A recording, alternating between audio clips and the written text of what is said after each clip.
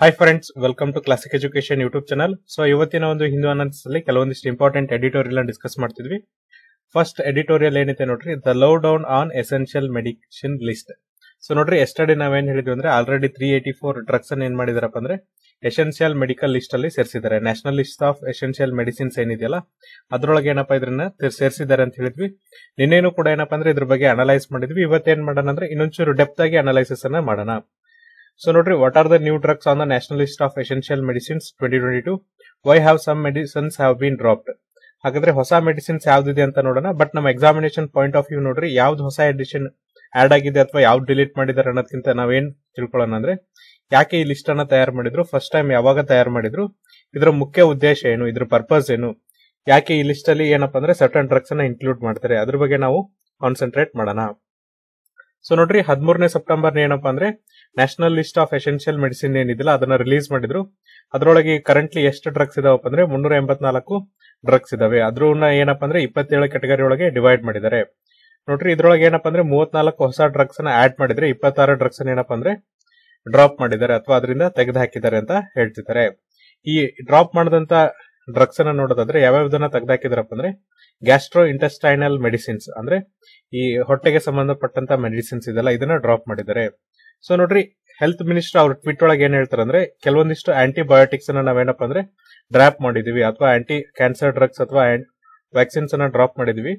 ಈ ತೆಗೆದು ಹಾಕಕ್ ಮುಖ್ಯ ಕಾರಣ ಏನಪ್ಪಾ ಅಂದ್ರೆ ಈ ಔಷಧಿಗಳು ಏನಾಗ್ತಿದೆ ಅಂದ್ರೆ ಈಗ ಮೋರ್ ಅಫೋರ್ಡೆಬಲ್ ಅಂದ್ರೆ ಹೆಚ್ಚೆಚ್ಚು ಜನರಿಗೆ ಏನಪ್ಪಾ ಅಂದ್ರೆ ಖರೀದಿಸುವ ಹಂತದಲ್ಲಿದೆ. ಅದಕ್ಕೋಸ್ಕರ ನಾವು ಡ್ರಾಪ್ ಮಾಡಿದ್ವಿ. ಜೊತೆಗೆ ನೋಡ್ರಿ ಸೇಫ್ಟಿ ಪ್ರೊಫೈಲ್ ಕೂಡ ಏನಂದ್ರೆ ತುಂಬಾ ಚೆನ್ನಾಗಿದೆ.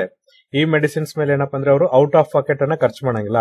ಸೊ ನೋಡ್ರಿ ಔಟ್ ಆಫ್ ಪಾಕೆಟ್ ಅಂದ್ರೆ ಏನಪ್ಪಾ ಅಂದ್ರೆ ಹೆವಿ ಎಕ್ಸ್ಪೆಂಡಿಚರ್ನ ಮಾಡಂಗಿಲ್ಲ. ಸೊ ಆ ಮೆಡಿಸಿನ್ಸ್ ಮೇಲೆ ಏನಪ್ಪಾ ಅಂದ್ರೆ ಜಾಸ್ತಿ ಖರ್ಚನ್ನ ಮಾಡಂಗಿಲ್ಲ. ಅದಕ್ಕೋಸ್ಕರ ನಾವೇನ್ ಮಾಡಿದ್ವಿ ಅಂದ್ರೆ ಈ ಡ್ರಗ್ಸ್ ಅನ್ನ national list of essential medicines ಇಂದ ತೆಗೆದು ಹಾಕಿದೀವಿ ಅಂತ ಹೇಳಿದ್ದಾರೆ. ಜೊತೆಗೆ ನೋಡ್ರಿ ಈ ಪ್ರೈಸಸ್ ಅನ್ನ ಯಾರು ಮೇಂಟೈನ್ ಯಾರು ರೆಗ್ಯುಲೇಟ್ ಮಾಡ್ತಾರಂದ್ರೆ ನ್ಯಾಷನಲ್ ಫಾರ್ಮಾಸ್ಯೂಟಿಕಲ್ ಪ್ರೈಸಿಂಗ್ ಅಥಾರಿಟಿ ಇದೆಯಲ್ಲ, ಅದೇನ್ ಮಾಡತ್ತಪ್ಪ ಅಂದ್ರೆ ಎಲ್ಲಾ ಡ್ರಗ್ಸ್ ಮೇಲೆ ಎಷ್ಟೆಷ್ಟು ಪ್ರೈಸ್ ಅನ್ನ ಹಾಕ್ಬೇಕನ್ನೋದನ್ನ ಹೇಳುತ್ತೆ, ಜೊತೆಗೆ ರೆಗ್ಯುಲೇಟ್ ಅನ್ನ ಮಾಡುತ್ತೆ. ಹಾಗಾದ್ರೆ ಯಾವ್ಯಾವ ಎಸೆನ್ಷಿಯಲ್ ಡ್ರಗ್ಸ್ ಅನ್ನ ಎಲಿಮಿನೇಟ್ ಮಾಡೋದಕ್ಕಿಂತ ಯಾವ ತರನಾಗಿ ಈ ಡ್ರಗ್ಸ್ ಅನ್ನ ಎಲಿಮಿನೇಟ್ ಮಾಡ್ತಾರೆ, ಆಮೇಲೆ ಯಾವ ತರನಾಗಿ ಈ ಲಿಸ್ಟ್ಗೆ ಡ್ರಗ್ಸ್ ಅನ್ನ ಆಡ್ ಮಾಡ್ತಾರೆ. ಅಂದ್ರೆ ಈ ಎನ್ ಎಲ್ ಇ ಎಂ ಇಂದ ಏನಪ್ಪಾ ಅಂದ್ರೆ ಯಾವ ತರನಾಗಿ ಹೊಸ ಡ್ರಗ್ಸ್ ಅನ್ನ ಇಲ್ಲಿಗೆ ಆಡ್ ಮಾಡ್ತಾರೆ, ಮತ್ತೆ ಇಲ್ಲಿಂದ ಯಾವೆಲ್ಲ ಹಳೆ ಡ್ರಗ್ಸ್ ಗಳನ್ನ ತೆಗಿತಾರೆ, ಅದಕ್ಕಿರುವಂತ ಪ್ರೊಸೀಜರ್ ಏನಂದ್ರೆ ಸೊ ನೋಡ್ರಿ, ಈ national list of essential medical ಒಳಗೆ ಇನ್ಕ್ಲೂಡ್ ಆಗ್ಬೇಕಂದ್ರೆ ಈ ಡ್ರಗ್ಸ್ ಏನಾಗಿರ್ಬೇಕಪ್ಪ ಅಂದ್ರೆ ಯಾವ್ದಾದ್ರು ಸ್ಪೆಷಲ್ ಡಿಸೀಸ್ ಅಥವಾ ನ್ಯಾಷನಲ್ ಪಬ್ಲಿಕ್ ಹೆಲ್ತ್ ಕನ್ಸರ್ನ್ ಇರುವಂತಹ ಡಿಸೀಸ್ ಏನಪ್ಪ ಅಂದ್ರೆ ಟ್ರೀಟ್ ಮಾಡಕ್ಕೆ ಯೂಸ್ ಆಗಿರ್ಬೇಕು. ಫಾರ್ ಎಕ್ಸಾಂಪಲ್ ನೋಡ್ರಿ, ಈಗ ಪಬ್ಲಿಕ್ ಹೆಲ್ತ್ ಕನ್ಸರ್ನ್ ಇರುವಂತ ಡಿಸೀಸ್ ಯಾವ್ದಂದ್ರೆ ಕೋವಿಡ್ ನೈನ್ಟೀನ್ ಅಥವಾ ಮಂಕಿ ಫಾಕ್ಸ್ ಈ ತರದ ಡಿಸೀಸ್ಗೆ ಏನಾದ್ರೂ ಈ ಡ್ರಗ್ಸ್ಗಳು ಟ್ರೀಟ್ಮೆಂಟ್ ಅನ್ನ ಕೊಡ್ತಿದ್ರೆ ಅದಕ್ಕೆ ನಾವೇನಂತ ಅದನ್ನ ನಾವೇನ್ ಮಾಡ್ತೀವಪ್ಪ ಅಂದ್ರೆ national list of essential medicines ಒಳಗೆ ಸೇರಿಸ್ತೀವಿ. ಆಮೇಲೆ ನೋಡ್ರಿ ಇವ್ನ ಯಾರು ಲೈಸೆನ್ಸ್ ಕೊಟ್ಟಿರ್ಬೇಕು ಮತ್ತೆ ಯಾರು approval ಮಾಡಿರ್ಬೇಕಂದ್ರೆ drug controller general of India ಅವರು ಅಪ್ರೂವಲ್ ಅನ್ನ ಕೊಟ್ಟಿರ್ಬೇಕು. ಜೊತೆಗೆ ನೋಡ್ರಿ ಅದರಲ್ಲಿ ಎಫಿಷಿಯನ್ಸಿ ಇರ್ಬೇಕಂದ್ರೆ ಅದ್ರ ಸಾಮರ್ಥ್ಯ ಚೆನ್ನಾಗಿರ್ಬೇಕು. ಆಮೇಲೆ ಸೇಫ್ಟಿ ಇರ್ಬೇಕು. ಯಾಕಂದ್ರೆ ಕೆಲವೊಂದ್ ಟೈಮ್ ಏನಾಗತ್ತಪ್ಪ ಅಂದ್ರೆ ರಿವರ್ಸ್ ಫಾರ್ಮ್ ಬರೋದ್ರಿಂದ ಸೇಫ್ಟಿನೂ ಕೂಡ ಏನಪ್ಪ ಅಂದ್ರೆ ಸೈಂಟಿಫಿಕ್ ಎವಿಡೆನ್ಸ್ ಮೇಲೆ ಇರಬೇಕು. ಜೊತೆಗೆ ನೋಡ್ರಿ ಇನ್ನೂ ಒಂದ್ ಏನಪ್ಪ ಅಂದ್ರೆ ಕಾಸ್ಟ್ ಎಫೆಕ್ಟಿವ್ ಅಂದ್ರೆ ತುಂಬಾ ಕಾಸ್ಟ್ಲಿ ಆಗಿ ಕೂಡ ಇರಬಾರ್ದು ಅಂತ ಹೇಳ್ತಿದ್ದಾರೆ. ಆಮೇಲೆ ನೋಡ್ರಿ ಇವನ್ನ ಯಾರು ರೆಕಮೆಂಡ್ ಮಾಡ್ಬೇಕು ಅಥವಾ ಯಾರ್ಯಾರು ರೆಕಮೆಂಡ್ ಮಾಡ್ಬೇಕಂದ್ರೆ ನ್ಯಾಷನಲ್ ಹೆಲ್ತ್ ಪ್ರೋಗ್ರಾಮ್ಸ್ ಇದೆಯಲ್ಲ, ಅಲ್ಲಿ ಏನಪ್ಪ ಅಂದ್ರೆ ಈ ಡ್ರಗ್ಸ್ ಅನ್ನ ರೆಕಮೆಂಡ್ ಮಾಡ್ಬೇಕಂತ ಹೇಳ್ತಿದ್ದಾರೆ. ಫಾರ್ ಎಕ್ಸಾಂಪಲ್ ನೋಡ್ರಿ ಇವರ್ ಮೆಸಿಟಿನ್ ಅನ್ನೋ ಒಂದು ಡ್ರಗ್ಸ್ ಏನಪ್ಪ ಅಂದ್ರೆ accelerated plan of elimination of lymphatic filariasis ಏನಪ್ಪ ಅಂದ್ರೆ ಯೂಸ್ ಮಾಡಿದ್ರು. ಹಾಗಾಗಿ ಅವಾಗಿಂದ ಏನಪ್ಪ ಅಂದ್ರೆ ಈ ಒಂದು ಡ್ರಗ್ ಅನ್ನ ಏನ್ ಮಾಡ್ತಿದಾರೆ ಅಂದ್ರೆ ಎಲ್ ಎಲ್ ಇ ಎಂ ಒಳಗೆ ಯೂಸ್ ಮಾಡ್ತಿದ್ದಾರೆ.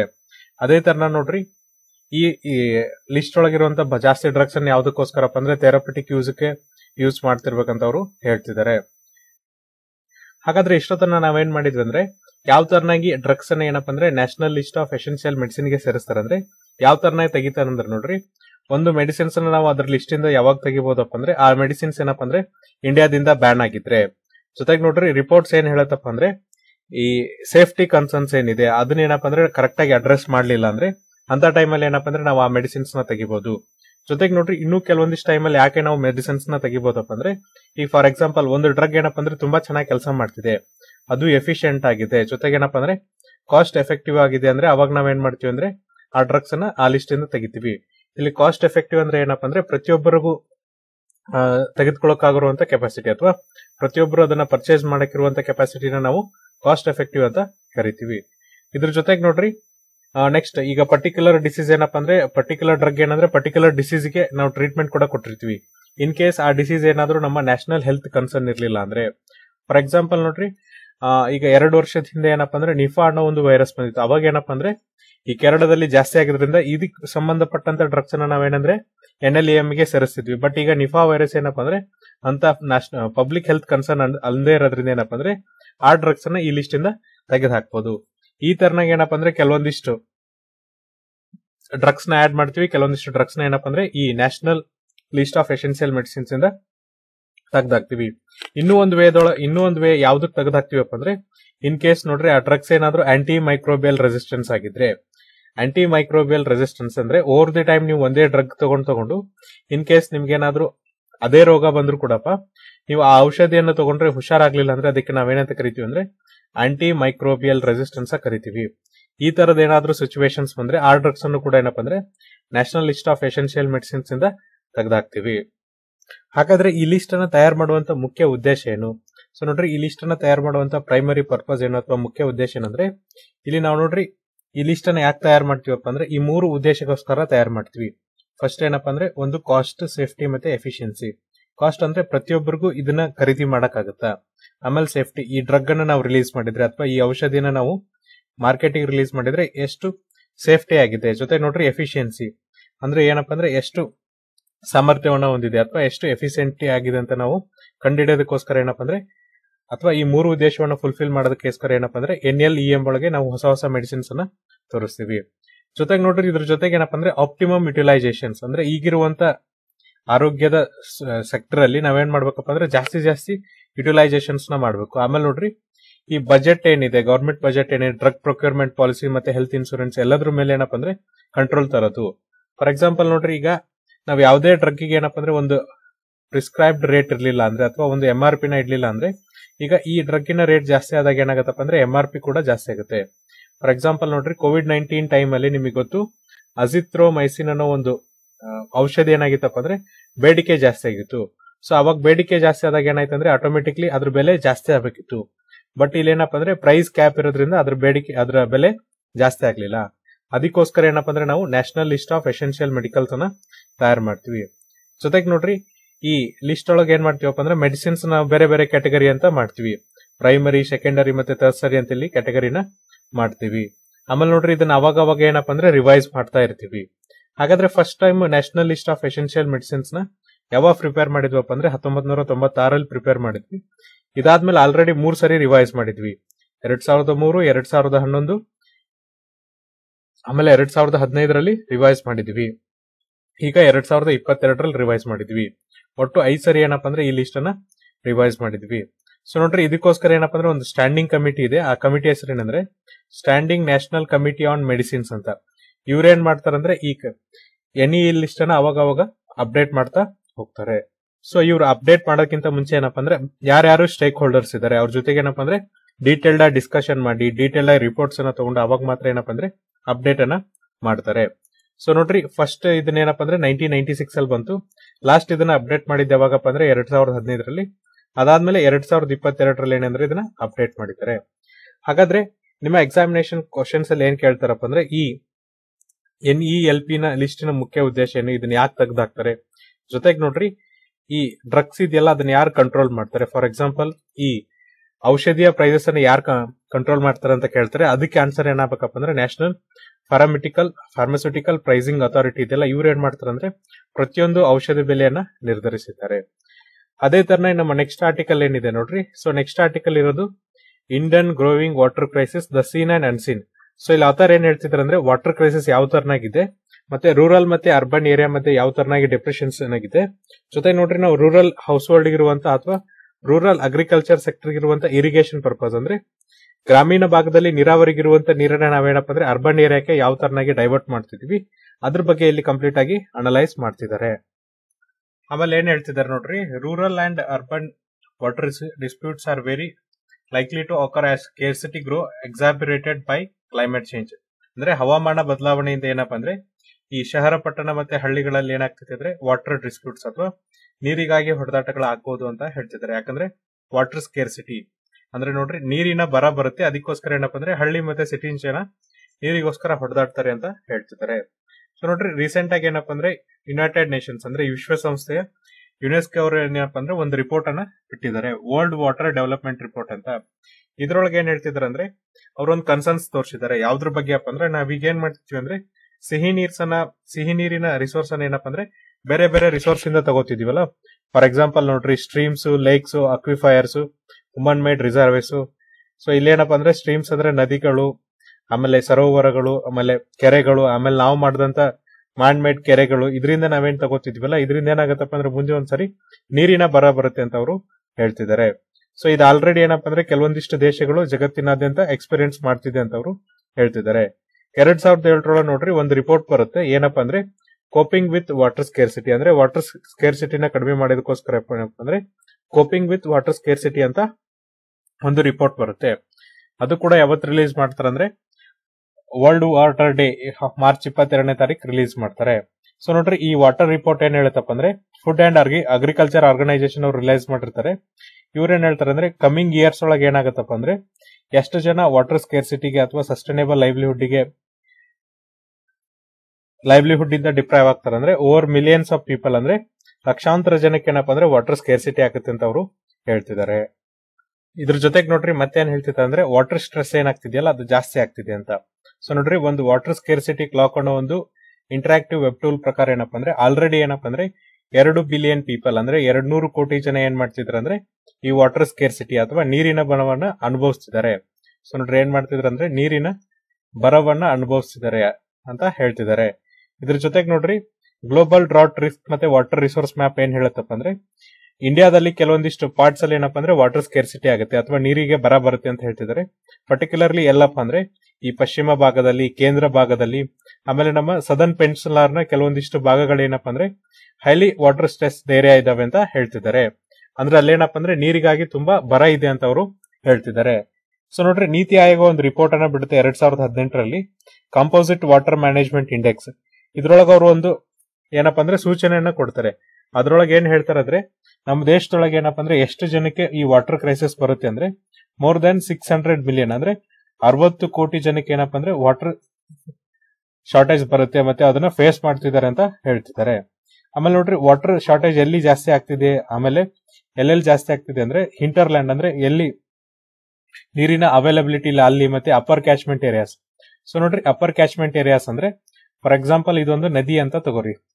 ಸೊ ಈಗ ನದಿಗೆ ಏನಪ್ಪ ಅಂದ್ರೆ ನೀರಿನ ಮೂಲ ಇಲ್ಲಿಂದ ಬರುತ್ತೆ. ಇಲ್ಲಿ ಮೇಲ್ಗಡೆ ಏನಿರುತ್ತಲ್ಲ, ಇದಕ್ಕೆ ನಾವು ಅಪ್ಪರ್ ಕ್ಯಾಚ್ಮೆಂಟ್ ಏರಿಯಾ ಅಂತ ಕರಿತೀವಿ. ಸೊ ಕ್ಯಾಚ್ಮೆಂಟ್ ಅಂದ್ರೆ ಏನಪ್ಪಾ ಅಂದ್ರೆ, ಈಗ ನದಿ ನೀರಿಗೆ ಅಥವಾ ಮಳೆ ನೀರು ಬಿದ್ದ ಮೇಲೆ ಏನು ನದಿಗೆ ಸೇರುತ್ತಲ್ಲ, ಆ ಏರಿಯಾವನ್ನ ಕ್ಯಾಚ್ಮೆಂಟ್ ಅಂತ ಕರಿತೀವಿ. ಫಾರ್ ಎಕ್ಸಾಂಪಲ್ ನೋಡ್ರಿ, ಈಗ ಒಂದು ಮಳೆ ಬಂತು ಅಂದ್ರೆ ಪರ್ಟಿಕ್ಯುಲರ್ಲಿ ನೀರೇನಾಗತ್ತಪ್ಪ ಅಂದ್ರೆ, ಎಲ್ಲ ಹರಿದು ಒಂದ್ ಕಡೆ ಸೋರ್ಸ್ ಆಗುತ್ತೆ. ಈಗ ಫಾರ್ ಎಕ್ಸಾಂಪಲ್ ಧಾರವಾಡದಲ್ಲಿ ಎಲ್ಲಾ ಕಡೆ ನೀರು ಹೋಗಿ ಎಲ್ಲಿಗೆ ಹರಿಯುತ್ತೆ ಅಂದ್ರೆ, ಶಾಲ್ಮಲಾ ನದಿಗೆ ಹರಿಯುತ್ತೆ. ಸೊ ಹಾಗಾಗಿ ಈ ಒಂದು ಏನ್ ಏರಿಯಾ ಇರುತ್ತಲ್ಲ, ಅದನ್ನ ನಾವೇನಂತ ಕರಿತೀವಿ ಅಂದ್ರೆ ಕ್ಯಾಚ್ಮೆಂಟ್ ಏರಿಯಾ ಅಂತ ಕರಿತೀವಿ. ಸೊ ನೋಡ್ರಿ, ಈ ಅಪ್ಪರ್ ಕ್ಯಾಚ್ಮೆಂಟ್ ಏರಿಯಾದಲ್ಲಿ ಏನಪ್ಪಾ ಅಂದ್ರೆ ವಾಟರ್ ಸ್ಕೇರ್ಸಿಟಿ ಜಾಸ್ತಿ ಆಗುತ್ತೆ. ಯಾಕಂದ್ರೆ ಇಲ್ಲಿಂದ ಮಳೆ ಆಗಿ ನೀರೆಲ್ಲ ಹರಿದೋಗ್ಬಿಡುತ್ತೆ. ಇವ್ರಿಗೆ ಏನಪ್ಪಾ ಅಂದ್ರೆ ನಾಳೆ ಬೇಸಿಗೆ ಕಾಲ ಬಂದಾಗ ನೀರಿರಲ್ಲ ಅಂತ ಅವರು ಹೇಳ್ತಿದ್ದಾರೆ. ಹೀಗಾಗಿ ಏನಾಗುತ್ತಪ್ಪ ಅಂದ್ರೆ ಕಾಂಪಿಟೇಷನ್ ಜಾಸ್ತಿ ಆಗುತ್ತೆ. ಸ್ಥಳೀಯವಾಗಿ ರೂರಲ್ ಅರ್ಬನ್ ವಾಟರ್ ಪ್ರಾಬ್ಲಮ್ಸ್ ಏನಾಗುತ್ತಪ್ಪ ಅಂದ್ರೆ ಜಾಸ್ತಿ ಆಗುತ್ತೆ ಅಂತ ಅವರು ಹೇಳ್ತಿದ್ದಾರೆ. ಜೊತೆಗೆ ನೋಡ್ರಿ ನಾವು ನೀರನ್ನ ತರೋದಕ್ಕೋಸ್ಕರ ಏನ್ ಮಾಡ್ತೀವಪ್ಪ ಅಂದ್ರೆ ಟ್ರಾನ್ಸ್ ಬೌಂಡ್ರಿಯನ್ನ ಯೂಸ್ ಮಾಡ್ತೀವಿ. ಅಂದ್ರೆ ಬೇರೆ ಬೇರೆ ಕ್ಯಾಶ್ಮೆಂಟ್ ಏರಿಯಾದಿಂದ ನೀರು ತರ್ತೀವಿ. ಫಾರ್ ಎಕ್ಸಾಂಪಲ್ ನೋಡ್ರಿ ಬೆಂಗಳೂರಿಗೆ ವಾಟರ್ ಎಲ್ಲಿಂದ ಸಪ್ಲೈ ಮಾಡ್ತಾರಪ್ಪ ಅಂದ್ರೆ ಕಾವೇರಿ ನದಿಯಿಂದ ಅಥವಾ ಕೆ ಆರ್ ಎಸ್ ಡ್ಯಾಮ್ ಇಂದ ಸಪ್ಲೈ ಮಾಡ್ತಾರೆ. ಸೊ ಅಲ್ಲಿಂದ ವಾಟರ್ ಅನ್ನ ಏನು ನಾವು ತರ್ತೀವಲ್ಲ, ಅದಕ್ಕೆ ನಾವೇನಂತ ಕರಿತೀವಿ ಅಂದ್ರೆ ಟ್ರಾನ್ಸ್ ಬೌಂಡ್ರಿ ವಾಟರ್ ಟ್ರಾನ್ಸ್ಪೋರ್ಟ್ ಅಂತ ಕರಿತೀವಿ. ಸೊ ನೋಡ್ರಿ ಈ ಇಪ್ಪತ್ತನೇ ಸೆಂಚುರಿಯಲ್ಲಿ ಏನಪ್ಪಾ ಅಂದ್ರೆ ಈ ಟ್ರಾನ್ಸ್ ಬೌಂಡ್ರಿ ವಾಟರ್ ಟ್ರಾನ್ಸ್ಪೋರ್ಟೇಷನ್ ಬೆಳಕಿಗೆ ಬಂತವ್ರು ಅಂತ ಹೇಳ್ತಿದ್ದಾರೆ. ಜೊತೆಗೆ ನೋಡ್ರಿ ಎರಡ್ ಸಾವಿರದ ಹತ್ತೊಂಬತ್ತರಲ್ಲಿ ಒಂದು ರಿಪೋರ್ಟ್ ಬರುತ್ತೆ. ಇದು ಈ ರಿಪೋರ್ಟ್ ಪ್ರಕಾರ ಏನಪ್ಪಾ ಅಂದ್ರೆ ಈ ಒಂದು ರಿವ್ಯೂ ಪೇಪರ್ ಪ್ರಕಾರ ಏನಪ್ಪಾ ಅಂದ್ರೆ ಈ ಪಟ್ಟಣದಲ್ಲಿರುವಂತಹ ಜನರು ಏನಪ್ಪಾ ಅಂದ್ರೆ ಪ್ರತಿದಿನ ಎಷ್ಟು ನೀರನ್ನ ಆಮದು ಮಾಡ್ಕೋತಿದ್ದಾರೆ ಅಥವಾ ಇಂಪೋರ್ಟ್ ಮಾಡ್ಕೋತಿದ್ದಾರೆ ಅಂದ್ರೆ ಪ್ರತಿದಿನ ನೋಡ್ರಿ ಐದ್ನೂರು ಬಿಲಿಯನ್ ಲೀಟರ್ಸ್ ಸೊ ಐದ್ನೂರು ಬಿಲಿಯನ್ ಲೀಟರ್ಸ್ ಅಂದ್ರೆ ಐದ್ನೂರು ಇಂಟು ನೂರು ಕೋಟಿ ಮಾಡ್ರಿ. ಎಷ್ಟಾಗುತ್ತೆ? ಐವತ್ ಸಾವಿರ ಕೋಟಿ ಲೀಟರ್ ನೀರುಗಳನ್ನ ಅವ್ರು ಏನ್ ಮಾಡ್ತಿದಾರೆ ಅಂದ್ರೆ ಇಂಪೋರ್ಟ್ ಮಾಡ್ಕೋತಿದ್ದಾರೆ ಅಥವಾ ಆಮದು ಮಾಡ್ಕೋತಿದ್ದಾರೆ ಬೇರೆ ಬೇರೆ ಕಡೆಯಿಂದ. ಅದು ಕೂಡ ಎಷ್ಟು ಕಿಲೋಮೀಟರ್ ಇಂದಪ್ಪ ಅಂದ್ರೆ ಇಪ್ಪತ್ತೇಳು ಸಾವಿರ ಕಿಲೋಮೀಟರ್ ಇಂದ ಅಂತ ಅವರು ಹೇಳ್ತಿದ್ದಾರೆ. ಜೊತೆಗೆ ನೋಡ್ರಿ, ಜಗತ್ತಲ್ಲಿರುವಂತ ಹನ್ನೆರಡು ಪರ್ಸೆಂಟ್ ದೊಡ್ಡ ದೊಡ್ಡ ಸಿಟೀಸ್ ಏನಿದೆ, ಅವೇನಪ್ಪ ಅಂದ್ರೆ ವಾಟರ್ಗೋಸ್ಕರ ಅಥವಾ ನೀರಿಗೋಸ್ಕರ ಏನಂದ್ರೆ ಇಂಟರ್ ಬೇಸಿನ್ಸ್ ಟ್ರಾನ್ಸ್ಫರ್ ಇಂದ ಡೆವಲಪ್ ಆಗಿದೆ. ಅಂದ್ರೆ ಬೇರೆ ಬೇರೆ ಕಡೆಯಿಂದ ನೀರು ತಗೊಂಡ್ಬರ್ತಾರೆ ಅಂತ ಅವರು ಹೇಳ್ತಿದ್ದಾರೆ. ಇದ್ರ ಜೊತೆಗೆ ನೋಡ್ರಿ, ಇನ್ನೊಂದು ರಿಪೋರ್ಟ್ ಬರುತ್ತೆ ವಿಶ್ವಸಂಸ್ಥೆದು. Transboundary water system status and trend ಅಂತ ರಿಪೋರ್ಟ್ ಬರುತ್ತೆ. ಇದ್ರೊಳಗೆ ಏನಪ್ಪಾ ಅಂದ್ರೆ ವಾಟರ್ ಟ್ರಾನ್ಸ್ಫರ್ ಬಗ್ಗೆ ಇರುವಂತಹ ಬೇರೆ ಬೇರೆ ಪ್ರಾಬ್ಲಮ್ಸ್ ಬಗ್ಗೆ ಅವ್ರು ಹೇಳ್ತಾ ಹೋಗ್ತಾರೆ. ಜೊತೆಗೆ ನೋಡ್ರಿ, ಈ ಸಸ್ಟೈನೇಬಲ್ ಡೆವಲಪ್ಮೆಂಟ್ ಗೋಲ್ಸ್ನ ಯಾವ ತರನಾಗಿ ಅಚೀವ್ ಮಾಡಬೇಕು? ಅಂದ್ರೆ ಈ ನೀರನ್ನ ಬಳಸ್ಕೊಂಡು ನಾವೇನಪ್ಪ ಅಂದ್ರೆ ಯಾವ ತರನಾಗಿ ಸುಸ್ಥಿರವಾಗಿ ಅಭಿವೃದ್ಧಿಯನ್ನ ಹೊಂದಬೇಕಂತ ಅವರು ಹೇಳ್ತಾ ಹೋಗ್ತಾರೆ. ಈ ಸುಸ್ಥಿರ ಅಭಿವೃದ್ಧಿ ಹೊಂದಕ್ಕೆ ನಾವೇನ್ ಮಾಡ್ಬೇಕಂತ ಹೇಳ್ತಾರೆ? ಅದಕ್ಕೋಸ್ಕರ ನೋಡ್ರಿ, ಎರಡ್ ಸಾವಿರದ ಹದಿನೈದರಿಂದ ಮೂವತ್ತ ಟೈಮ್ ಅನ್ನ ಅವರು ಚೂಸ್ ಮಾಡಿದ್ದಾರೆ. ಆಮೇಲೆ ನೋಡ್ರಿ, ಈ ರಿಪೋರ್ಟ್ ಏನ್ ಮಾಡಿದೆ ಅಂದ್ರೆ ಬೇರೆ ಬೇರೆ ರಿಸ್ಕ್ ಅಸೋಸಿಯೇಟೆಡ್ ಅನ್ನ ಐಡೆಂಟಿಫೈ ಮಾಡಿದೆ. ಸೊ ನೋಡ್ರಿ ಪರ್ಟಿಕ್ಯುಲರ್ ಆಗಿ ಮೂರು ರಿಸ್ಕ್ ಅನ್ನ ಅವರು ಐಡೆಂಟಿಫೈ ಮಾಡಿದ್ದಾರೆ. ಒಂದನೇದು ಬಯೋಫಿಸಿಕಲ್ ಎರಡನೇದು ಸೋಷಿಯೋ ಎಕಾನಮಿಕಲ್ ಮೂರನೇದು ನೋಡ್ರಿ ಗವರ್ನೆನ್ಸ್ ಮೂರು ಇಶ್ಯೂಸ್ ಏನಪ್ಪ ಅಂದ್ರೆ ಇವರು ಐಡೆಂಟಿಫೈ ಮಾಡಿದ್ದಾರೆ. ಸೌತ್ ಏಷ್ಯಾ ಇನ್ಕ್ಲೂಡಿಂಗ್ ಇಂಡಿಯಾ ಯಾವ್ದ್ರ ಮೇಲೆ ಜಾಸ್ತಿ ಫಾಲೋ ಆಗ್ತಿದೆಯಪ್ಪ ಅಂದ್ರೆ ಬಯೋಫಿಸಿಕಲ್ ಮತ್ತೆ ಸೋಷಿಯೋ ಎಕನಾಮಿಕ್ ರಿಸ್ಕ್ ರಿಸ್ಕ್ ಮೇಲೆ ಜಾಸ್ತಿ ಫಾಲೋ ಆಗ್ತಿದೆ. ಬಯೋಫಿಸಿಕಲ್ ಅಂದ್ರೆ ನೋಡ್ರಿ ನಾನು ಆಗ್ಲೇ ಹೇಳಿದ್ನಲ್ಲ ಒಂದು ಕಡೆಯಿಂದ ಇನ್ನೊಂದ್ ಕಡೆ ನೀರು ತಗೊಂಡು ಹೋಗೋದು. ಅಥವಾ ಏನಪ್ಪ ಅಂದ್ರೆ ಬೇರೆ ಬೇರೆ ಏರಿಯಾಗಳಲ್ಲಿ ಫಾರ್ ಎಕ್ಸಾಂಪಲ್ ಅಪ್ಪರ್ ಕ್ಯಾಶ್ಮೆಂಟ್ ಏರಿಯಾಗೆ ನೀರ್ ಇಲ್ಲದೆ ಇರೋದು. ಈ ತರದ ಪ್ರಾಬ್ಲಮ್ ಗಳಿಗೆ ನಾವು ಬಯೋಫಿಸಿಕಲ್ ಅಂತ ಕರೆದ್ರೆ ಸೋಷಿಯೋ ಎಕನಾಮಿಕ್ ಅಂದ್ರೆ ಬಡವರು ಮತ್ತೆ ಶ್ರೀಮಂತರು. ಶ್ರೀಮಂತರಿಗೆ ನೀರ್ ಸಿಗೋದು, ಬಡವರಿಗೆ ನೀರ್ ಸಿಗದೆ ಇರೋದು. ಈ ತರದ ಪ್ರಾಬ್ಲಮ್ಗಳು ಆಮೇಲೆ ಗವರ್ನೆನ್ಸ್ ಅಂದ್ರೆ ಆಡಳಿತದಿಂದ ಆಗುವಂತ ಪ್ರಾಬ್ಲಮ್ಗಳು ಅಂತ ಅವರು ಹೇಳ್ತಿದ್ದಾರೆ. ಸೊ ನೋಡ್ರಿ, ಆ ತರ ಭಾರತದ ಬಗ್ಗೆ ಡಿಸ್ಕಸ್ ಮಾಡ್ತಿದ್ದಾರೆ. ಸೊ ನೋಡ್ರಿ, ಎರಡ್ ಸಾವಿರದ ಹನ್ನೊಂದರ ಸೆನ್ಸಸ್ ಪ್ರಕಾರ ಏನಪ್ಪ ಅಂದ್ರೆ ಜನಗಣತಿ ಪ್ರಕಾರ ನಮ್ಮ ದೇಶದಲ್ಲಿ ಅರ್ಬನ್ ಪಾಪ್ಯುಲೇಷನ್ ಎಷ್ಟಿದೆ ಅಂದ್ರೆ ಓವರ್ ಆಲ್ ಪಾಪ್ಯುಲೇಷನ್ ಮೂವತ್ನಾಲ್ಕು ಪರ್ಸೆಂಟ್ ಜನ ಏನಪ್ಪಾ ಅಂದ್ರೆ ಅರ್ಬನ್ ಏರಿಯಾದಲ್ಲಿ ಬದುಕ್ತಾರೆ ಅಂತ ಹೇಳ್ತಿದ್ದಾರೆ. ಅದರೊಳಗೆ ನೋಡ್ರಿ ಎಷ್ಟು ಸಿಟೀಸ್ ಇದಾವಪ್ಪ ಅಂದ್ರೆ ಏಳ್ ಸಾವಿರದ ಒಂಬೈನೂರ ಮೂವತ್ತೈದು ಟೌನ್ಸ್ ಅಥವಾ ಸ್ಮಾಲ್ ಸ್ಮಾಲ್ ಸಿಟೀಸ್ ಅಲ್ಲಿ ಬದುಕ್ತಿದ್ದಾರೆ. ಅದೇ ತರ ನೋಡ್ರಿ ಈ ಅರ್ಬನ್ ಪಾಪ್ಯುಲೇಷನ್ಸ್ ಏನಪ್ಪಾ ಅಂದ್ರೆ ಎರಡ್ ಸಾವಿರದ ಮೂವತ್ತರ ಹೊತ್ತಿಗೆ ಎಷ್ಟಾಗುತ್ತೆ ಅಂದ್ರೆ ನಲ್ವತ್ ಪರ್ಸೆಂಟ್ ಆಗುತ್ತೆ. ಎರಡ್ ಸಾವಿರದ ಐವತ್ತರ ಹೊತ್ತಿಗೆ ಏನಾಗುತ್ತಪ್ಪ ಅಂದ್ರೆ ಐವತ್ ಪರ್ಸೆಂಟ್ ಆಗುತ್ತೆ. ಅಂದ್ರೆ ಎರಡ್ ಸಾವಿರದ ಐವತ್ತರ ಹೊತ್ತಿಗೆ ಏನಪ್ಪಾ ಅಂದ್ರೆ ಐವತ್ ಪರ್ಸೆಂಟ್ ಜನ ಅರ್ಬನ್ ಅಂದ್ರೆ ಶಹರ ಪಟ್ಟಣಗಳಲ್ಲಿ ಬದುಕಿದ್ರೆ ಇನ್ನು ಐವತ್ ಪರ್ಸೆಂಟ್ ಜನ ಏನಪ್ಪಾ ಅಂದ್ರೆ ಹಳ್ಳಿಗಳಲ್ಲಿ ವಾಸಿಸ್ತಾರೆ ಅಂತ ಹೇಳ್ತಿದ್ದಾರೆ. ಜೊತೆಗೆ ನೋಡ್ರಿ, ಈ ಅರ್ಬನ್ ಪಾಪ್ಯುಲೇಷನ್ಸ್ ಏನು, ಇದೆಲ್ಲ ಜಗತ್ತಿನಲ್ಲೂ ಕೂಡ ಏನಪ್ಪಾ ಅಂದ್ರೆ ಎರಡ್ ಸಾವಿರದ ಐವತ್ತಿಗೆ ಏನಾಗುತ್ತೆ ಅಂದ್ರೆ ಐವತ್ ಪರ್ಸೆಂಟ್ ಆಗುತ್ತೆ ಅಂತ ಅವರು ಹೇಳ್ತಿದ್ದಾರೆ. ಸೊ ನೋಡ್ರಿ, ಈಗ ನಮ್ಮ ಅರ್ಬನೈಸೇಷನ್ ಫೇಸ್ ಏನಿದೆಯಲ್ಲ ಅದು ತುಂಬಾ ಕಮ್ಮಿ ಇದೆ. ಬಟ್ ಏನಪ್ಪಾ ಅಂದ್ರೆ ಇತ್ತೀಚಿನ ಕೆಲವೊಂದಿಷ್ಟು ದಿನಗಳಲ್ಲಿ ಏನಪ್ಪಾ ಅಂದ್ರೆ ರಾಪಿಡ್ ಫೇಸ್ ಅಲ್ಲಿ ಅರ್ಬನೈಸೇಷನ್ ಆಗ್ತಿದೆ. ಫಾರ್ ಎಕ್ಸಾಂಪಲ್ ಬೇರೆ ಬೇರೆ ರೀಸನ್ಸ್ ಇರ್ಬೋದು.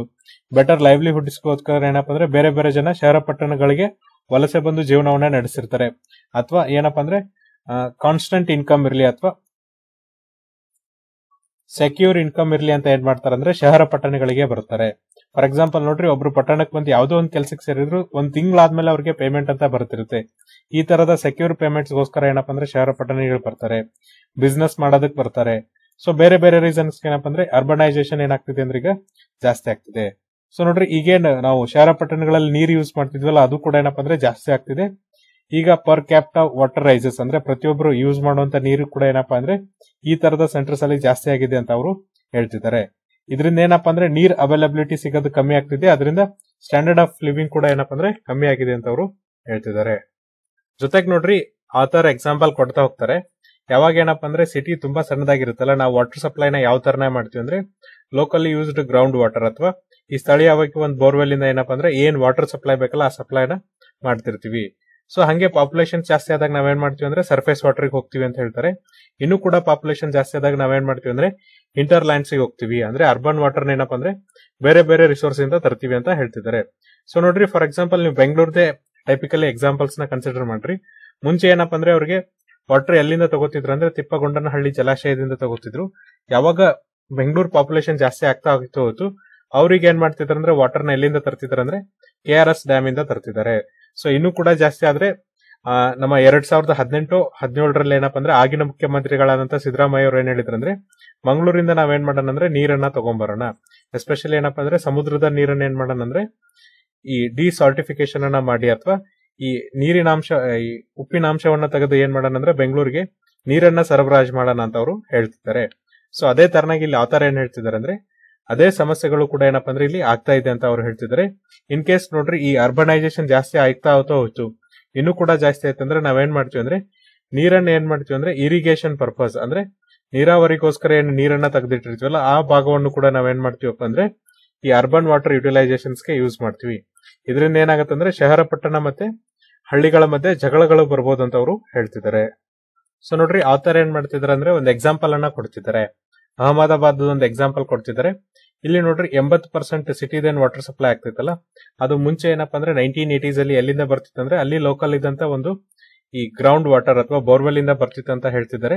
ಸೊ ನೋಡ್ರಿ, ಯಾವಾಗ ಸಿಟಿ ಈ ಗ್ರೌಂಡ್ ವಾಟರ್ ಲೆವೆಲ್ ಏನಪ್ಪಾ ಅಂದ್ರೆ ಅರವತ್ತೇಳು ಮೀಟರ್ ಗಿಂತ ಕಮ್ಮಿ ಹೋಯ್ತಲ್ಲ, ಅವಾಗ ಅವ್ರು ಏನ್ ಮಾಡಿದ್ರು ಅಂದ್ರೆ ಕೆನಲ್ ಇಂದ ವಾಟರ್ ಸಪ್ಲೈನ ಮಾಡ್ತಿದ್ದಾರೆ. ಈಗ ಅವರಿಗೆ ಕುಡಿಯೋ ನೀರು ಅಥವಾ ಬೇರೆ ಬೇರೆ ಪರ್ಪಸ್ ವಾಟರ್ನ ಎಲ್ಲಿಂದ ತಗೊಂಡ್ಬರ್ತಾರೆ ಅಂದ್ರೆ ನರ್ಮದಾ ಕೆನಲ್ ಮೂಲಕ ಏನಪ್ಪಾ ಅಂದ್ರೆ ಸಪ್ಲೈನ ಮಾಡ್ಕೋತಾರೆ. ಈ ಶಿಫ್ಟ್ ಏನಿದೆಯಲ್ಲ ಗ್ರೌಂಡ್ ವಾಟರ್ ಇಂದ ನರ್ಮದಾ ಕೆನಲ್ ಅದೇನಪ್ಪ ಅಂದ್ರೆ ಇಂಟರ್ ಸ್ಟೇಟ್ ಅಂದ್ರೆ ಬೇರೆ ಬೇರೆ ಸ್ಥಳೀಯವಾಗಿ ಅಥವಾ ಬೇರೆ ರಾಜ್ಯದಿಂದ ಇಂಟರ್ ಬೇಸಿನ್ ಇಂದ ತರೋದು ಜಾಸ್ತಿ ಆಗಿದೆ ಅಂತ ಅವರು ಹೇಳ್ತಿದ್ದಾರೆ. ಇದಾದ್ಮೇಲೆ ನೋಡ್ರಿ ನೆಕ್ಸ್ಟ್ ಏನ್ ಡಿಸ್ಕಸ್ ಮಾಡ್ತಿದ್ದಾರೆ ಅಂದ್ರೆ ಈಗ ಏನಾಗ್ತಿದ್ಯಪ್ಪ ಅಂದ್ರೆ ಡಿಸ್ಕಷನ್ ಅಲ್ಲಿ ಇವ್ರೇನ್ ಹೇಳ್ತಿದಾರೆ ಅಂದ್ರೆ ಗ್ರೌಂಡ್ ವಾಟರ್ ಮತ್ತೆ ಸರ್ಫೇಸ್ ವಾಟರ್ ಹೇಳ್ತಿದ್ದಾರೆ. ಫಾರ್ ಎಕ್ಸಾಂಪಲ್ ನೋಡ್ರಿ ಗ್ರೌಂಡ್ ವಾಟರ್ ಆದ್ರೆ ನಮಗೆ ಗೊತ್ತಾಗಲ್ಲ ವಿಸಿಬಲ್ ಇರಲ್ಲ ಬಟ್ ಸರ್ಫೇಸ್ ವಾಟರ್ ಆದ್ರೆ ವಿಸಿಬಿಲಿಟಿ ಇರುತ್ತೆ. ಫಾರ್ ಎಕ್ಸಾಂಪಲ್ ನೋಡ್ರಿ, ಒಂದು ಕೆರೆ ಇದೆ ಅನ್ಕೋರಿ. ಕೆರೆಯಲ್ಲಿ ನಾವು ನೀರನ್ನ ಬಳಸ್ತಾ ಹೋದಂಗೆ ಏನಾಗುತ್ತಪ್ಪ ಅಂದ್ರೆ, ಆ ಬಳಕೆ ಕಮ್ಮಿ ಆಗ್ತಾ ಆಗ್ತಾ ಹೋಗ್ತಾ ಲಾಸ್ಟಿಗೆ ಎಷ್ಟು ನೀರು ಉಳಿದಿದೆ ಅಂತ ನಮ್ಮ ಕಣ್ಣಿಗೆ ಕಾಣಿಸುತ್ತೆ. ಅದೇ ನೀವೇನಪ್ಪ ಅಂದ್ರೆ ಈ ಗ್ರೌಂಡ್ ವಾಟರ್ ಅಥವಾ ಬೋರ್ವೆಲ್ ಮೂಲಕ ನೀರು ತರಿಸ್ತೀನಿ ಅಂದ್ರೆ ನಿಮಗೆ ಪೂರ್ತಿ ನಿಲ್ಲೋವರೆಗೂ ಏನಪ್ಪ ಅಂದ್ರೆ ಆ ಏನಂದ್ರೆ ಎಷ್ಟು ನೀರು ಉಳಿದಿದೆ ಅಂತ ಗೊತ್ತಾಗಲ್ಲ. ಹಾಗಾಗಿ ಇಲ್ಲಿ ಯಾವ ತರ ಏನ್ ಹೇಳ್ತಿದ್ದಾರೆ ಅಂದ್ರೆ ಎಷ್ಟು ನಾವು ಓಪನ್ ರಿಸೋರ್ಸ್ ಇಂದ ನೀರನ್ನ ತಗೊಂತಿದೀವಿ ಅಂತ ನಮಗೆ ಅಂದಾಜ್ ಮಾಡಕ್ ಆಗ್ತಿದೆ. ಬಟ್ ಎಷ್ಟು ಗ್ರೌಂಡ್ ವಾಟರ್ ಅನ್ನ ಯೂಸ್ ಮಾಡಿದೀವಿ ಅಂತ ನಮಗೆ ಅಂದಾಜ್ ಮಾಡಕ್ ಆಗ್ತಿಲ್ಲ. ಆಮೇಲೆ ನೋಡ್ರಿ ಈ ಗ್ರೌಂಡ್ ವಾಟರ್ ಏನಪ್ಪ ಅಂದ್ರೆ ಒಂದೇ ಪ್ರದೇಶದಲ್ಲಿ ಇರಲ್ಲ ಇದು ಭೂಮಿಯ ಕೆಳಗಡೆ ಎಲ್ಲಾ ಕಡೆನೂ ಹರಟಿರುತ್ತೆ. ಹಾಗಾಗಿ ಎಷ್ಟು ನಾವು ತಗೊಂಡಿದೀವಿ ಅನ್ನೋದನ್ನ ನಾವೇನಪ್ಪ ಅಂದ್ರೆ ಅಂದಾಜ್ ಮಾಡಕ್ಕಾಗಲ್ಲ ಅಂತ ಅವರು ಹೇಳ್ತಿದ್ದಾರೆ. ನೋಡ್ರಿ, ಸೋರ್ಸ್ ಏನಾದ್ರೂ ಇರಲಿ, ಬಟ್ ಏನಪ್ಪಾ ಅಂದ್ರೆ ಸ್ಕೇರ್ ಸಿಟಿ ಆಗ್ತಾ ಇದೆ. ಸರ್ಫೇಸ್ ವಾಟರ್ ಆದ್ರೂ ಅಲ್ಲಿ ಗ್ರೌಂಡ್ ವಾಟರ್ ಆತರ ಆಗ್ಲಿ ಏನಪ್ಪಾ ಅಂದ್ರೆ ಈಗ ನಮಗೆ ಸ್ಕೇರ್ ಸಿಟಿ ಅಂದ್ರೆ ಬರ ಬರ್ತಿದೆ ಅಂತ ಅವರು ಹೇಳ್ತಿದ್ದಾರೆ. ಜೊತೆಗೆ ನೋಡ್ರಿ, ನಾವು ಆಲ್ಮೋಸ್ಟ್ ವಾಟರ್ ಅನ್ನ ಎಲ್ಲಿಂದ ತಗೋತೀವಪ್ಪ ಅಂದ್ರೆ ಈ ಹಳ್ಳಿಗಳಿಂದ ತಗೊಳ್ಳೋದ್ರಿಂದ ಮುಂದೆ ಏನಾಗ್ಬೋದಪ್ಪ ಅಂದ್ರೆ ಈ ರೂರಲ್ ಅರ್ಬನ್ ಡಿಸ್ಪ್ಯೂಟ್ಸ್ ಆಗ್ಬೋದು ಅಂತ ಅವರು ಹೇಳ್ತಿದ್ದಾರೆ.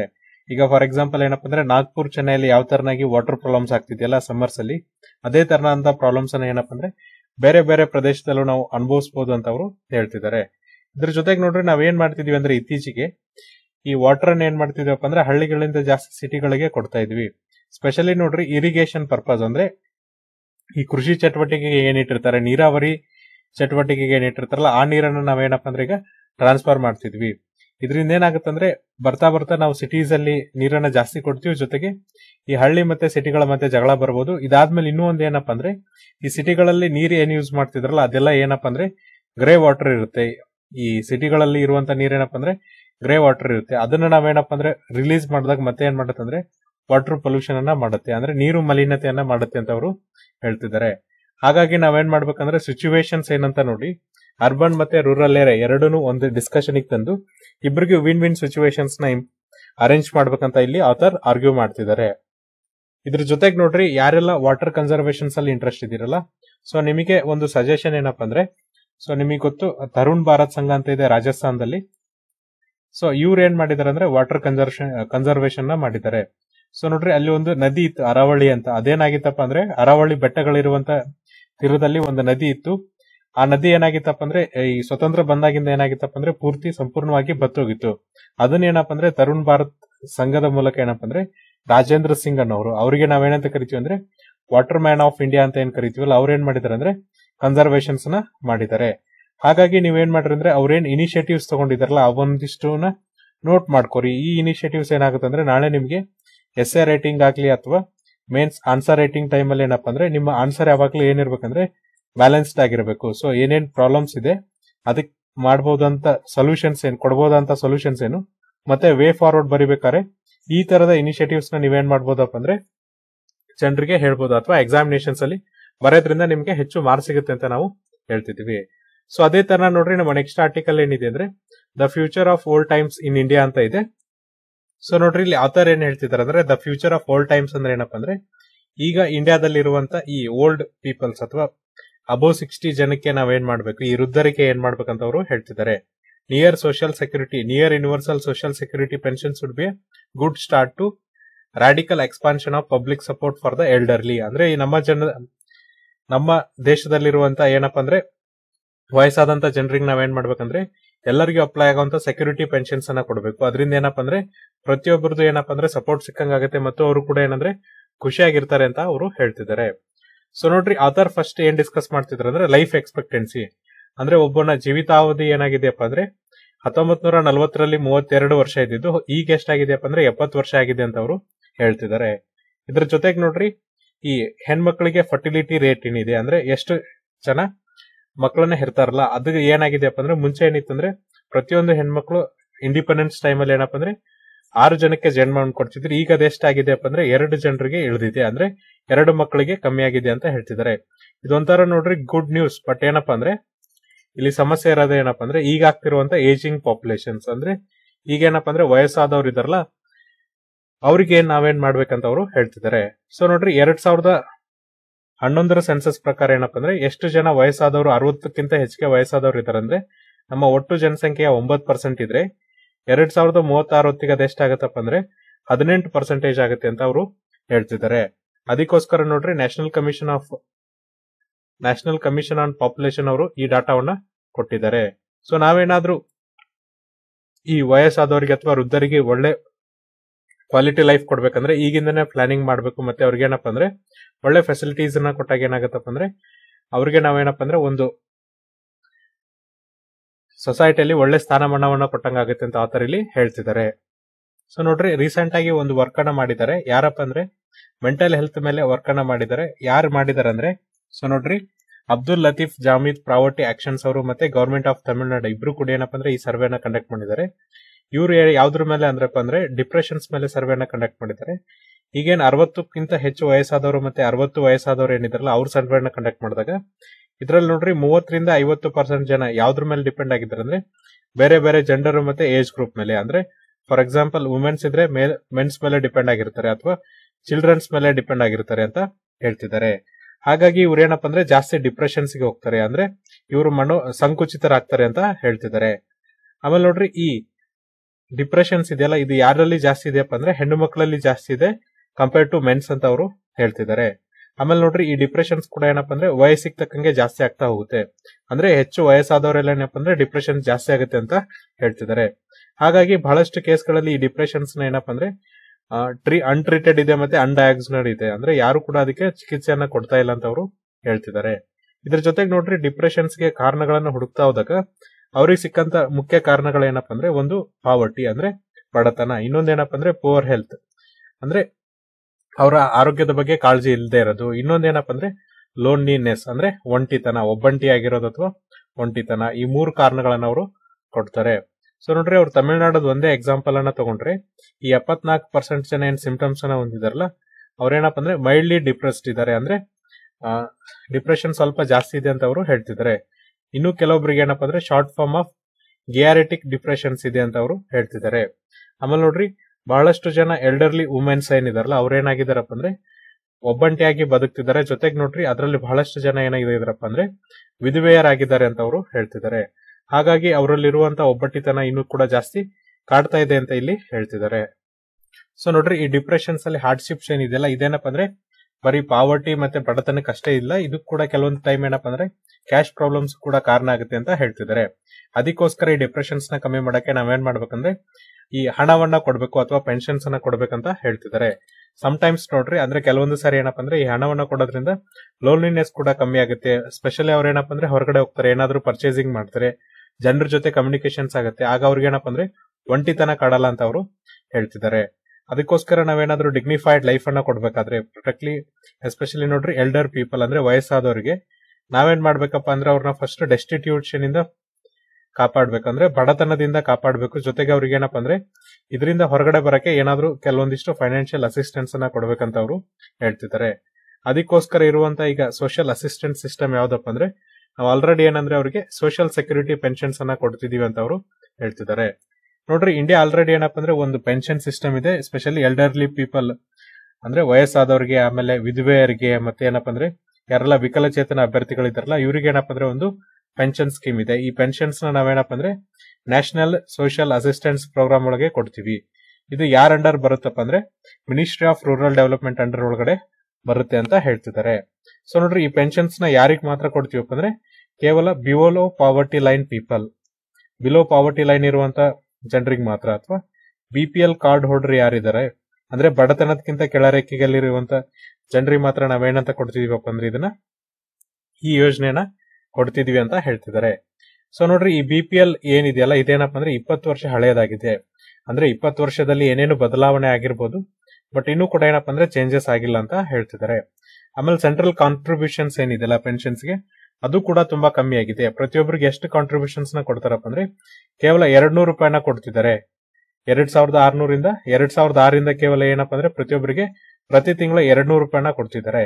ಇತ್ತೀಚೆಗೆ ಏನಪ್ಪಾ ಅಂದ್ರೆ ಅದನ್ನ ಮುನ್ನೂರು ರೂಪಾಯಿನ ಮಾಡಿದ್ದಾರೆ. ಆದ್ರೂ ಕೂಡ ಏನಾಗುತ್ತೆ ಅಂದ್ರೆ ಇದು ತುಂಬಾ ಕಮ್ಮಿ ಅಮೌಂಟ್ ಆಗುತ್ತೆ. ಯಾಕಂದ್ರೆ ಪರ್ಟಿಕ್ಯುಲರ್ಲಿ ಎಲ್ಲಾ ಯೋಜನೆಗಳಲ್ಲಿ ಎಲ್ಲಾ ಬೆಲೆಗಳು ಜಾಸ್ತಿ ಆದಾಗ ಏನಪ್ಪಾ ಅಂದ್ರೆ ಕೇವಲ ಎರಡ್ ನೂರ್ ಮುನ್ನೂರು ರೂಪಾಯಿ ಪ್ರತಿ ತಿಂಗಳಿಗೆ ಏನಪ್ಪಾ ಅಂದ್ರೆ ಈ ಪೆನ್ಷನ್ ಸೆಕ್ಯೂರಿಟಿ ಸ್ಕೀಮ್ ಸಾಲಲ್ಲ ಅಂತ ಅವರು ಹೇಳ್ತಿದ್ದಾರೆ. ಅದಕ್ಕೋಸ್ಕರ ನೋಡ್ರಿ, ಆದಷ್ಟು ಕೆಲವೊಂದಿಷ್ಟು ಸ್ಟೇಟ್ಸ್ಗಳು ಏನ್ ಮಾಡಿದೆ ಅಂದ್ರೆ, ಈ ನ್ಯಾಷನಲ್ ಸೆಕ್ಯೂರಿಟಿ ಪೆನ್ಷನ್ಸ್ ಏನಿದೆಲ್ಲ ಇದು ಬಿಟ್ಟು ಏನಪ್ಪಾ ಅಂದ್ರೆ, ಅವರೇ ಕೆಲವೊಂದಿಷ್ಟು ಸೆಕ್ಯೂರಿಟಿ ಪೆನ್ಷನ್ಸ್ನ ಕೊಟ್ಟಿದ್ದಾರೆ. ಇದರಿಂದ ಏನಾಗಿದೆ ಅಂದ್ರೆ ನಿಯರ್ ಯೂನಿವರ್ಸಲ್ ಅಂದ್ರೆ ಆಲ್ಮೋಸ್ಟ್ ಎಲ್ಲ ಜನರನ್ನು ಇದರಲ್ಲಿ ಇನ್ಕ್ಲೂಡ್ ಮಾಡಿದ್ದಾರೆ. ಅಂದ್ರೆ, ವಯಸ್ಸಾದ ಜನರು ಏನಿದಾರಲ್ಲ, ಅವ್ರನ್ನೆಲ್ಲ ಇನ್ಕ್ಲೂಡ್ ಮಾಡಿದ್ದಾರೆ. ಆಲ್ಮೋಸ್ಟ್ ನೋಡ್ರಿ seventy five to eighty percent ಜನರನ್ನ ಇನ್ಕ್ಲೂಡ್ ಮಾಡಿದ್ದಾರೆ. ಜೊತೆಗೆ ಏನಪ್ಪಾ ಅಂದ್ರೆ, ಅವ್ರಿಗೆ ಒಳ್ಳೆ ಪೆನ್ಷನ್ಸ್ ಅನ್ನ ಕೊಡ್ತಿದ್ದಾರೆ ಅಂತ ಹೇಳ್ತಿದ್ದಾರೆ. ಸೊ ಸದರ್ನ್ ಇಂಡಿಯಾನ್ ತಗೊಂಡಾಗ ನಾವೇನಪ್ಪ ಅಂದ್ರೆ, ಎಲ್ಲಾ ಸದರ್ನ್ ಇಂಡಿಯನ್ ಸ್ಟೇಟ್ಸ್ ಅಂದ್ರೆ ಆಂಧ್ರ ಪ್ರದೇಶ ಇರ್ಬೋದು, ಕರ್ನಾಟಕ ಇರ್ಬೋದು, ಕೇರಳ ಇರ್ಬೋದು ಆಮೇಲೆ ಏನಪ್ಪಾ ಅಂದ್ರೆ ತೆಲಂಗಾಣ ಇರ್ಬೋದು ಎಕ್ಸೆಪ್ಟ್ ತಮಿಳ್ನಾಡು ಏನಪ್ಪಾ ಅಂದ್ರೆ ಪ್ರತಿಯೊಬ್ರು ಏನಪ್ಪಾ ಅಂದ್ರೆ ಈ ತರದ ಸ್ಕೀಮ್ಸ್ ಅನ್ನ ಕೊಡ್ತಿದ್ದಾರೆ ಅಂತ ಅವರು ಹೇಳ್ತಿದ್ದಾರೆ. ಸೊ ನೋಡ್ರಿ, ನಾವು ಯಾವ ತರನಾಗಿ ಟಾರ್ಗೆಟ್ ಅನ್ನ ಮಾಡ್ತಿದ್ವಿ, ಏನೇನ್ ಟಾರ್ಗೆಟ್ ಅನ್ನ ಕೊಡ್ಬೇಕಂದ್ರೆ ಸೊ ನೋಡ್ರಿ ನಾವೆಲ್ಲ ಸೋಷಿಯಲ್ ಬೆನಿಫಿಟ್ಸ್ ಅನ್ನ ಟಾರ್ಗೆಟ್ ಮಾಡೋದಕ್ಕೆ ಏನಪ್ಪಾ ಅಂದ್ರೆ ತುಂಬಾ ಕಷ್ಟ ಆಗುತ್ತೆ. ಆಮೇಲೆ ನಾವು ಬರೀ ಬಿ ಪಿ ಎಲ್ ಫ್ಯಾಮಿಲೀಸ್ಗೆ ರಿಸ್ಟ್ರಿಕ್ಷನ್ಸ್ ಮಾಡೋದು ಕೂಡ ಏನಪ್ಪಾ ಅಂದ್ರೆ ಎಲ್ಲಾ ಟೈಮಲ್ಲಿ ಕೆಲಸ ಆಗಲ್ಲ ಅಥವಾ ವರ್ಕ್ ಆಗಲ್ಲ ಅಂತ ಅವರು ಹೇಳ್ತಿದ್ದಾರೆ. ಆಮೇಲೆ ನೋಡ್ರಿ ಬಿ ಪಿ ಎಲ್ ಲಿಸ್ಟ್ ಅಲ್ಲೂ ಕೂಡ ಏನಪ್ಪಾ ಅಂದ್ರೆ ಕೆಲವೊಬ್ಬರನ್ನ ನಾವು ತೆಗ್ದಾಕ್ತಿವಿ ಎಕ್ಸ್ಕ್ಲೂಷನ್ಸ್ ಅನ್ನ ಮಾಡ್ತೀವಿ. ಅದು ಕೂಡ ಜಾಸ್ತಿ ಆಗಿದೆ ಅಂತ ಹೇಳ್ತಿದ್ದಾರೆ. ಸೊ ನೋಡ್ರಿ ಏಜ್ ಓಲ್ಡ್ ಪೆನ್ಷನ್ಸ್ ಬಂದಾಗ ಏನಪ್ಪಾ ಅಂದ್ರೆ, ಈ ಬಿ ಪಿ ಎಲ್ಗೆ ಟಾರ್ಗೆಟ್ ಮಾಡೋದು ಅಥವಾ ರೆಸ್ಟ್ರಿಕ್ಷನ್ ಮಾಡೋದು ಏನಪ್ಪಾ ಅಂದ್ರೆ, ತುಂಬಾ ಒಳ್ಳೆ ಐಡಿಯಾ ಅಲ್ಲ ಅಂತ ಅವರು ಹೇಳ್ತಿದ್ದಾರೆ. ಅದಕ್ಕೋಸ್ಕರ ನಾವೇನ್ ಮಾಡ್ಬೇಕಂದ್ರೆ ಯೂನಿವರ್ಸಲ್ ಪೆನ್ಷನ್ಸ್ ಅನ್ನ ಕೊಡ್ಬೇಕಂತ ಅವರು ಹೇಳ್ತಿದ್ದಾರೆ. ಸೊ ನೋಡ್ರಿ, ಈ ಪೆನ್ಷನ್ಸ್ ಯಾವ ತರನಾಗಿ ಕೊಡ್ತಿದ್ದಾರೆ ಅಂದ್ರೆ ಹೌಸ್ ಹೋಲ್ಡ್ಸ್ ಮೇಲೆ ಕೊಡ್ತಿದ್ದಾರೆ ಅಂದ್ರೆ ಪ್ರತಿಯೊಂದು ಮನೇಲಿ ಯಾವ ತರ ಇರುತ್ತೆ ಅದ್ರ ಮೇಲೆ ಕೊಡ್ತಿದ್ರೆ ಇಂಡಿವಿಜುವಲ್ಸ್ ಇಂಡಿಕೇಟರ್ನ ತಗೋತಾ ಇಲ್ಲ.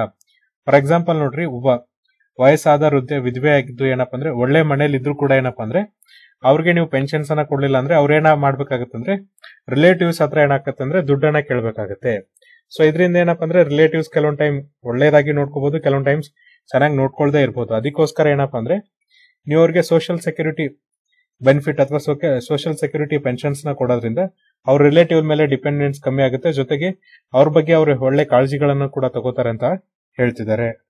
ಸೊ ಇನ್ನೊಂದು ಟಾರ್ಗೆಟಿಂಗ್ ಅಲ್ಲಿ ಏನಾಗುತ್ತಪ್ಪ ಅಂದ್ರೆ ದಿ ಕಾಂಪ್ಲಿಹೆನ್ಸೆನ್ಸ್ ಜಾಸ್ತಿ ಇರುತ್ತೆ. ಅಂದ್ರೆ ಫಾರ್ ಎಕ್ಸಾಂಪಲ್ ನೋಡ್ರಿ ಎನ್ ಎಸ್ ಎ ಪಿ ಒಳಗೆ ನೀವೇನಾದ್ರೂ ಯೋಜನೆನ ತಗೋಬೇಕಾರೆ ನ್ಯಾಷನಲ್ ಸೋಷಿಯಲ್ ಅಸಿಸ್ಟೆನ್ಸ್ ಪ್ರೋಗ್ರಾಮ್ ಒಳಗೆ ನೀವೇನ್ ಮಾಡ್ಬೇಕಂದ್ರೆ ಬಿ ಪಿ ಎಲ್ ಸರ್ಟಿಫಿಕೇಟ್ ಮತ್ತೆ ಇನ್ನು ಕೆಲವೊಂದಿಷ್ಟು ಡಾಕ್ಯುಮೆಂಟ್ಸ್ ಅನ್ನ ಕೊಡಬೇಕಾಗುತ್ತೆ.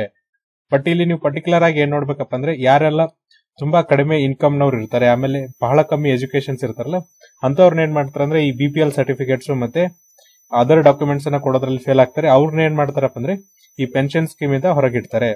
ಫಾರ್ ಎಕ್ಸಾಂಪಲ್ ನೋಡ್ರಿ, ತಮಿಳ್ನಾಡಲ್ಲಿ ಏನಪ್ಪಾ ಅಂದ್ರೆ ಯಾರು ಪೆನ್ಷನ್ಸ್ನ ತಗೋತಿದಾರಲ್ಲ ಫಾರ್ ಎಕ್ಸಾಂಪಲ್ ಈಗ ಒಂದು ಎಕ್ಸ್ ವೈ ಝೆಡ್ ನೋಡ್ರಿ ಪೆನ್ಷನ್ಸ್ನ ತಗೋತಿದ್ದಾರೆ.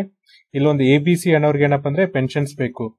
ಈ ಪೆನ್ಷನ್ಸ್ ತಗೊಳ್ಳೋರ್ ಏನ ತಗೊಳ್ಳೋರ್ ಏನಪ್ಪಾ ಅಂದ್ರೆ ಪೆನ್ಷನ್ಸ್ ತಗೊಳ್ದಕ್ಕಿಂತ ತುಂಬಾ ಚೆನ್ನಾಗಿದ್ದಾರೆ. ಅಂದ್ರೆ ರಿಲೇಟಿವ್ಲಿ ಏನಪ್ಪಾ ಅಂದ್ರೆ ಶ್ರೀಮಂತರಾಗಿದ್ದಾರೆ. ಆಮೇಲೆ ಏನಪ್ಪಾ ಅಂದ್ರೆ ಪೆನ್ಷನ್ ಸಿಗದೆ ಇರೋರು ಏನಪ್ಪ ಅಂದ್ರೆ ತುಂಬಾ ಬಡವರಾಗಿದ್ದಾರೆ. ಅಂತವ್ರಿಗೆ ಏನಪ್ಪಾ ಅಂದ್ರೆ ಪೆನ್ಷನ್ಸ್ ತುಂಬಾ ಅತ್ಯವಶ್ಯಕತೆ ಅಂತ ಇಲ್ಲಿ ಇಲ್ಲಿ ಹೇಳ್ತಿದ್ದಾರೆ. ಹಾಗಾಗಿ ಈ ಎಲಿಜಿಬಿಲಿಟಿ ಕ್ರೈಟೀರಿಯಾ ಏನಿದೆಯಲ್ಲ, ಇದನ್ನ ನಾವೇನ್ ಮಾಡ್ಬೇಕಂದ್ರೆ ನಾವೇ ಇದನ್ನ ಏನಪ್ಪಾ ಅಂದ್ರೆ ಪ್ರತಿಯೊಂದು ಇದಕ್ಕೆ ಹೋಗಿ ಅಡ್ಮಿನಿಸ್ಟ್ರೇಷನ್ ಮಾಡೋ ಬದ್ಲಿ ಲೋಕಲ್ ಗವರ್ನೆನ್ಸ್ ಕೊಡ್ಬೇಕಂತ ಇಲ್ಲಿ ಆಥರ್ ಸಜೆಷನ್ ಮಾಡ್ತಿದ್ದಾರೆ. ಸೊ ಲೋಕಲ್ ಗವರ್ನೆನ್ಸ್ ಕೊಡೋದ್ರಿಂದ ಪ್ರತಿಯೊಬ್ಬರು ಮುಖ ಪರಿಚಯ ಇರೋದ್ರಿಂದ ಬೇಗ ಬೇಗ ಪ್ರೊಸೆಸ್ ಆಗುತ್ತೆ. ಆಮೇಲೆ ಜೆನ್ಯೂನ್ ಬೆನಿಫಿಷಿಯರ್ಸ್ ಯಾರಿದಾರಲ್ಲ ಅವ್ರಿಗೆ ಮಾತ್ರ ಏನಪ್ಪಾ ಅಂದ್ರೆ ಈ ಬೆನಿಫಿಟ್ ಅಂದ್ರೆ ಫಲಾನುಭವತೆ ಸಿಗುತ್ತೆ ಅಂತ ಇಲ್ಲಿ ಹೇಳ್ತಿದ್ದಾರೆ. ಆಮೇಲೆ ಈ ಪೆನ್ಷನ್ಸ್ ಅಲ್ಲಿ ಇರುವಂತ ಪ್ರಾಬ್ಲಮ್ ಏನಪ್ಪಾ ಅಂದ್ರೆ ಯಾಕೆ ಗೌರ್ಮೆಂಟ್ ಅಧಿಕಾರಿಗಳು ಪೆನ್ಷನ್ಸ್ ಅನ್ನ ಡಿನೈ ಮಾಡ್ತಾರಂದ್ರೆ ಸೊ ನೋಡ್ರಿ ಗೌರ್ಮೆಂಟ್ ಅಫಿಷಿಯಲ್ಸ್ ಯಾವಾಗ್ಲೂ ಏನ್ ಮಾಡ್ತಾರಪ್ಪ ಅಂದ್ರೆ ಯಾವುದೇ ಕಾರಣಕ್ಕೂ ಯಾರೆಲ್ಲ ಇನ್ ಎಲಿಜಿಬಲ್ಸ್ ಅಂದ್ರೆ ಯಾರು ಕ್ವಾಲಿಫೈ ಆಗಲ್ಲ ಅಥವಾ ಫಲಾನುಭವತೆಯನ್ನ ಫಲಾನುಭವಕ್ಕೆ ಏನಪ್ಪಾ ಅಂದ್ರೆ ಎಲಿಜಿಬಲ್ ಆಗಲ್ಲ. ಅಂತವ್ರಿಗೆ ಏನಪ್ಪಾ ಅಂದ್ರೆ ಪೆನ್ಷನ್ ಸಿಗಬಾರ್ದು ಅಂತ ಹೇಳ್ತಾರೆ. ಮಿಸ್ಟೇಕ್ಸ್ ಆಗಿ ಕೂಡ ಏನಪ್ಪಾ ಅಂದ್ರೆ ಪೆನ್ಷನ್ ಸಿಗಬಾರ್ದು ಅಂತ ಹೇಳ್ತಿದ್ದಾರೆ. ಅಂದ್ರೆ ಶ್ರೀಮಂತರಿಗೆ ಕೂಡ ಏನಪ್ಪಾ ಅಂದ್ರೆ ಪೆನ್ಷನ್ ಸಿಗಬಾರ್ದು. ಕೇವಲ ಏನಪ್ಪಾ ಅಂದ್ರೆ ಯಾರು ಫಲಾನುಭವಿಗಳಿದ್ದಾರೆ ಅಥವಾ ಯಾರು ಬಡವರು ಇದಾರಲ್ಲ ಅಂತವ್ರಿಗೆ ಮಾತ್ರ ಪೆನ್ಷನ್ ಸಿಗ್ಬೇಕಂತ ಅವರು ಹೇಳ್ತಿದ್ದಾರೆ. ಸೊ ನೋಡ್ರಿ, ತಮಿಳುನಾಡದ ಒಂದು ಕೇಸನ್ನ ತಗೊಂಡಾಗ ಇಲ್ಲಿ ಏನ್ ಹೇಳ್ತಿದ್ದಾರೆ ಅಂದ್ರೆ ಇನ್ ಕೇಸ್ ಒಬ್ರು ವಯಸ್ಸಾದವ್ರಿಗೆ ಏನಪ್ಪಾ ಅಂದ್ರೆ ಒಂದು ಒಳ್ಳೆ ಮಗ ಇದ್ರೆ ಅಂದ್ರೆ ಅವ್ರನ್ನ ನೋಡ್ಕೊಳ್ಳುವಂತ ಮಗ ಇದ್ದು ಅವ್ನ ಸಿಟಿ ಒಳಗಿದ್ರೆ ಏನಪ್ಪಾ ಅಂದ್ರೆ ಅಂತವ್ರನ್ನ ಏನ್ ಮಾಡ್ತಾರೆ ಅಂದ್ರೆ ಪೆನ್ಷನ್ಸ್ ಇಂದ ಡಿಸ್ಕ್ವಾಲಿಫೈ ಮಾಡ್ತಾರೆ. ಬಟ್ ಇಲ್ಲಿ ಅವ್ರ ಏನ್ ನೋಡ್ಬೇಕಂದ್ರೆ ಈ ಮಗನಿಂದ ಏನಾದ್ರೂ ತಂದೆಗೆ ಸಪೋರ್ಟ್ ಸಿಗುತ್ತಾ? ಇನ್ ಕೇಸ್ ಅವ್ರ ಸಿಟಿ ಒಳಗಿದ್ರು ಕೂಡ ಏನಪ್ಪಾ ಅಂದ್ರೆ, ಅವ್ರಿಗೆ ಏನಾದ್ರೂ ಸಪೋರ್ಟ್ ಸಿಗುತ್ತಾ? ಅಂತ ಸಪೋರ್ಟ್ ಸಿಕ್ಕರೆ ಮಾತ್ರ ಏನಪ್ಪ ಅಂದ್ರೆ ಈ ಪೆನ್ಷನ್ ಸ್ಕೀಮ್ ಇಂದ ಹೊರಗಡೆ ಇಡಬೇಕು. ಸಪೋರ್ಟ್ ಸಿಗ್ಲಿಲ್ಲ ಅಂದ್ರೆ ಅವ್ರನ್ನು ಕೂಡ ಇಲ್ಲಿ ಏನ್ ಮಾಡ್ಬೇಕಪ್ಪ ಅಂದ್ರೆ ಇನ್ಕ್ಲೂಡ್ ಮಾಡ್ಬೇಕಂತ ಅವರು ಹೇಳ್ತಿದ್ದಾರೆ. ಈ ತರದ ಎಕ್ಸ್ಕ್ಲೂಷನ್ ಎರರ್ಸ್ ಮಾಡೋದ್ರಿಂದ ಏನಪ್ಪಾ ಅಂದ್ರೆ, ಎಷ್ಟೊಂದು ಜನ ಬೆನಿಫಿಷಿಯರ್ಸ್ಗೆ ಅಥವಾ ಫಲಾನುಭವಿಗಳಿಗೆ ಈ ಪೆನ್ಷನ್ ಸ್ಕೀಮಿನ ಬೆನಿಫಿಟ್ ಸಿಗ್ತಾ ಇಲ್ಲ ಅಂತ ಅವರು ಹೇಳ್ತಿದ್ದಾರೆ. ಸೊ ನೋಡ್ರಿ ಆಥರ್ ಈ ಸ್ಕೀಮಿಗೆ ಒಂದು ಎಕ್ಸಾಂಪಲ್ಸ್ನ ಕೊಡ್ತಿದ್ದಾರೆ. ಸೊ ಯಾವ ತರನಾಗಿ ನೀವು ಈ ಸ್ಕೀಮ್ಗೆ ಅಪ್ರೋಚ್ ಅನ್ನ ಮಾಡ್ಬೇಕಪ್ಪ ಅಂದ್ರೆ ಸೊ ನೋಡ್ರಿ ಎಲ್ಲಾ ವಿಧವೆಯರು ಮತ್ತೆ ವಯಸ್ಸಾದವರು ಮತ್ತೆ ಡಿಸೇಬಲ್ಡ್ ಪರ್ಸನ್ಸ್ ಏನಪ್ಪಾ ಅಂದ್ರೆ ಎಲಿಜಿಬಲ್ಸ್ ಅಂತ ಹೇಳ್ಬೇಕು. ಜೊತೆಗೆ ನೋಡ್ರಿ ಎಲಿಜಿಬಿಲಿಟಿ ಕ್ರೈಟೀರಿಯಾ ಏನಪ್ಪ ಅಂದ್ರೆ ಸೆಲ್ಫ್ ಓರಿಯೆಂಟೆಡ್ ಇರ್ಬೇಕಂದ್ರೆ ಅವರೇ ಡಿಕ್ಲೇರ್ ಅನ್ನ ಮಾಡಬೇಕು. ಸೊ ಇದರಿಂದ ಏನಂದ್ರೆ ಎಕ್ಸ್ಕ್ಲೂಷನ್ ಕ್ರೈಟೀರಿಯಾ ಏನಿದೆಯಲ್ಲ, ಅದು ಕಮ್ಮಿ ಆಗುತ್ತೆ ಅಂತ ಅವ್ರು ಹೇಳ್ತಿದ್ದಾರೆ. ಸೊ ಈ ವೆರಿಫಿಕೇಶನ್ಸ್ನ ಏನ್ ಮಾಡ್ಬೇಕಪ್ಪ ಅಂದ್ರೆ ಲೋಕಲ್ ಅಡ್ಮಿನಿಸ್ಟ್ರೇಷನ್ ಅಂದ್ರೆ ಗ್ರಾಮ ಪಂಚಾಯತಿ ಲೆವೆಲ್ ಕೊಡ್ಬೇಕಂತ ಅವರು ಹೇಳ್ತಿದ್ದಾರೆ. ಸೊ ನೋಡ್ರಿ ಇಲ್ಲಿ ಕೆಲವೊಂದಿಷ್ಟು ಚೀಟಿಂಗ್ಸ್ ಆಗ್ಬೋದು ಬಟ್ ಏನಪ್ಪ ಅಂದ್ರೆ ತುಂಬಾ ವೆಲ್ದಿ ಇದ್ದಂತ ಪರ್ಸನ್ಸ್ ಅಥವಾ ತುಂಬಾ ಶ್ರೀಮಂತರು ಏನಪ್ಪ ಅಂದ್ರೆ ಕೇವಲ ಸಣ್ಣ ಮಂತ್ಲಿ ಪೆನ್ಷನ್ಸ್ಗೋಸ್ಕರ ಬಂದ ಏನಪ್ಪ ಅಂದ್ರೆ ಅಲ್ಲಿ ತಮ್ಮ ಎಲಿಜಿಬಿಲಿಟಿ ಕ್ರೈಟೀರಿಯಾ ರಿಜಿಸ್ಟರ್ ಮಾಡ್ಕೊಳ್ಳಲ್ಲ. ಇದರಿಂದ ಏನಪ್ಪ ಅಂದ್ರೆ ಪ್ಯೂರ್ಲಿ ಯಾರು ಫಲಾನುಭವಿಗಳಿದಾರಲ್ಲ, ಅವ್ರಿಗೆ ಮಾತ್ರ ಏನಪ್ಪ ಅಂದ್ರೆ ಪೆನ್ಷನ್ ಸಿಗುತ್ತೆ ಅಂತ ಅವರು ಹೇಳ್ತಿದ್ದಾರೆ. ಸೊ ನೋಡ್ರಿ, ಇಲ್ಲಿ ಆತರ ಏನ್ ಹೇಳ್ತಿದ್ದಾರೆ ಅಂದ್ರೆ ನಾವು ಒಂದ್ ಸಿಸ್ಟಮ್ ಅನ್ನ ಅಡಾಪ್ಟ್ ಮಾಡ್ಕೋಬೇಕು. ಅದ್ರಲ್ಲಿ ಏನಪ್ಪ ಅಂದ್ರೆ ಕೆಲವೊಂದಿಷ್ಟು ಇನ್ಕ್ಲೂಸಿವ್ ಸೆರರ್ ಆದ್ರೆ ನಡೆಯುತ್ತೆ ಬಟ್ ಏನಪ್ಪ ಅಂದ್ರೆ ಜಾಸ್ತಿ ಎಕ್ಸ್ಕ್ಲೂಷನ್ ಸೆರರ್ ಆಗಬಾರ್ದು ಅಂತ ಹೇಳ್ತಿದ್ದಾರೆ. ಸೊ ನೋಡ್ರಿ ಇನ್ಕ್ಲೂಸಿವ್ಸ್ ಎರರ್ಸ್ ಅಂದ್ರೆ ಅವ್ರನ್ನ ಸೇರ್ಸ್ಕೋಬೇಕಾದ್ರೆ ಆಗ್ಬೋದಂತ ಸಣ್ಣ ಸಣ್ಣ ಎರರ್ಸ್ ಇದೆಯಲ್ಲ? ಫಾರ್ ಎಕ್ಸಾಂಪಲ್ ಗ್ರಾಮ ಪಂಚಾಯತಿಯಲ್ಲೂ ಸ್ವಲ್ಪ ಕರಪ್ಷನ್ ಆಗಿ ಒಂದು, ಎರಡು, ಮೂರು ಬೆನಿಫಿಷಿಯರ್ಸ್ನ ಆಡ್ ಮಾಡಬಹುದು ಬಟ್ ಏನಪ್ಪ ಅಂದ್ರೆ, ಈ ಪೆನ್ಷನ್ ಸ್ಕೀಮ್ ಇಂದ ನೂರೋ, ಎರಡ್ನೂರು ಜನ ಹೋಗೋದಕ್ಕಿಂತ ಒಂದು, ಎರಡು, ಮೂರು ಜನ ಆಡ್ ಮಾಡೋದು ಒಂದು ಒಳ್ಳೆ ಯೋಜನೆ ಅಂತ ಇಲ್ಲಿ ಅವರು ಹೇಳ್ತಿದ್ದಾರೆ.